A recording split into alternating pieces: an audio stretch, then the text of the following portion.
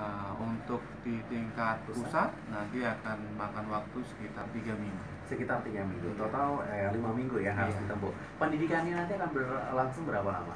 Pendidikan untuk tahun ini selama enam bulan, Enam jadi bulan. cukup singkat, Iya. jadi cukup menarik buat Betul. bagi peminat atau para pemuda yang berminat untuk mengikuti seleksi SIPSS ini Hmm. karena pendidikannya cukup singkat Iya. dan setelah keluar nanti menjadi seorang perwira dengan golongan 3A. Nah itu dia. Dan kuota yang dibutuhkan dan eh, mungkin eh, yang diharapkan ini eh, totalnya berapa sih sebetulnya? Untuk secara nasional hanya 75 orang. 75 Jadi orang. seluruh Indonesia kita butuhkan 75 orang untuk 75 yang nanti lulus terpilih. Hmm.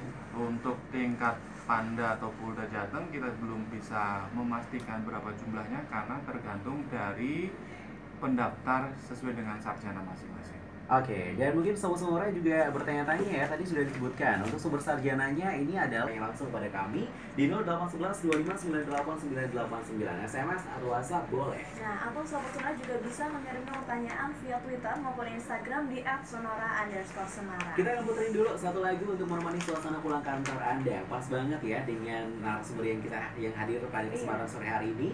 Ada Heroes dari Alessio featuring Toflo di After Office sampai jam 7 malam.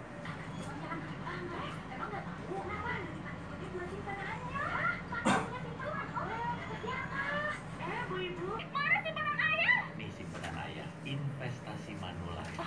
Simpenan ini maksudnya. 9 FM, Sonora FM, News Traffic and Music ya Masih barengan Arul dan juga Vias di After Office sampai jam 7 malam Iya, Sobat Sonora tadi kan kita masih membahas ya tentang passion dan juga background pendidikan untuk melanjutkan atau memilih suatu pekerjaan. gitu Betul, ya. dan tadi juga kita informasi untuk Anda nih Sahabat Hmm. Sonora Bagi yang punya passion, mungkin ingin menjadi salah satu personil kepolisian Bisa banget ya, karena kali ini memang lagi dibuka kesempatan untuk Anda Dari sumber sarjana kalau ingin bergabung menjadi anggota kepolisian Nah tadi sudah ditanyakan langsung kepada Bapak Imam Zamroni dari Biro SDM Polda Jateng ya Terkait syaratnya apa saja, bagaimana cara pendaftarannya Nah ini untuk kuota yang dibutuhkan eh, berapa sih Pak Imam? Ya untuk kuota tadi ada 25 sarjana. Untuk tingkat Polda sendiri nanti menunggu kuotanya ditentukan setelah pendaftarnya itu dari sarjana apa. Oh begitu ya. Dan mungkin eh, disampaikan juga terkait Pertama dari kedokteran, Mhm. itu ada kedokteran uh, forensik, Hmm. ada dokter umum, ada dokter gigi, terus dari psikologi yang